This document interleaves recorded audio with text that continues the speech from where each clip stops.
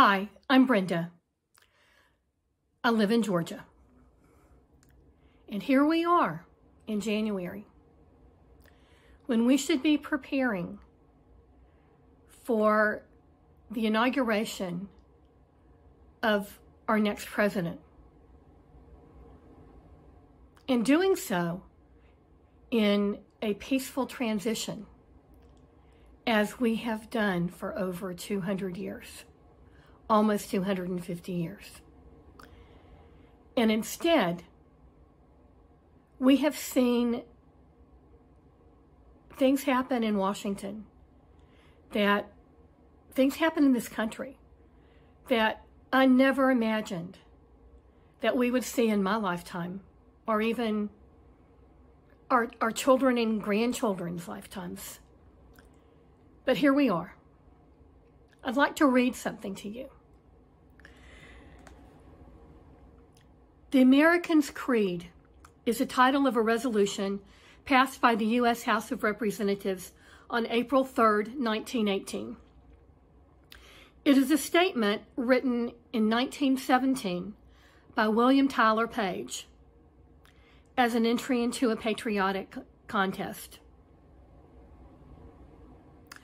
I believe in the United States of America as a government of the people, by the people, for the people whose just powers are derived from the consent of the governed, a democracy and a republic, a sovereign nation of many sovereign states, a perfect union, one and inseparable, established upon those principles of freedom, equality, justice, and humanity, for which American patriots sacrificed their lives and fortunes.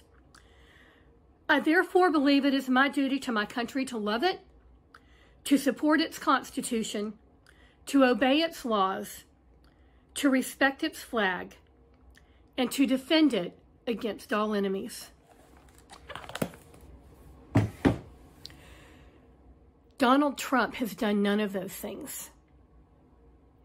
And not only has he not done any of those things, he is an enemy of the United States. He is an enemy of the United States Constitution. And he is an enemy to every person who believes in democracy. He must be removed from office immediately.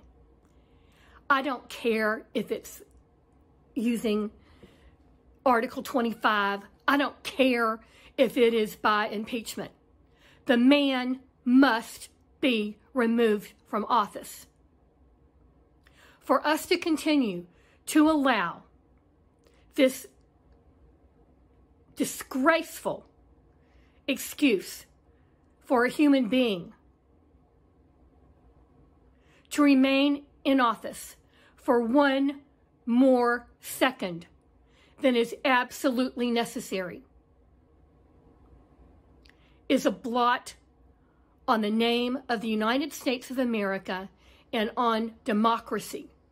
It is a stain that will never be removed.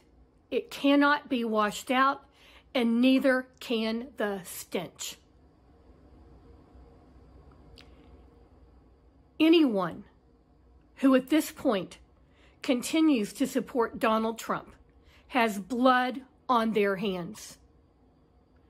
We all saw what happened to the capital of the United States of America.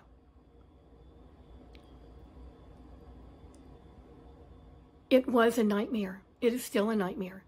It is incomprehensible. It must never happen again. Remove Donald Trump from office and remove him now and let us never say his name again with anything less than disdain and disgust. There is so much more that I could say. There is so much more all of us could say. But he has to go, and that is the bottom line. Donald Trump has to go, and he has to go now. To do otherwise is simply to destroy this country's reputation for the rest of its existence. Thank you.